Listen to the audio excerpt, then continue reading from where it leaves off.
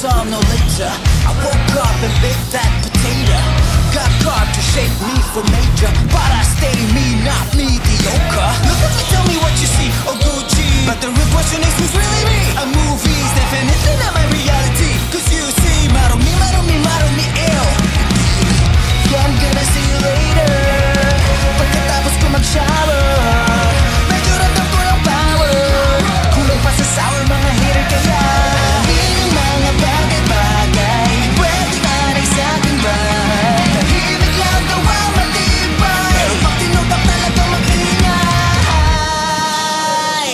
Roberto.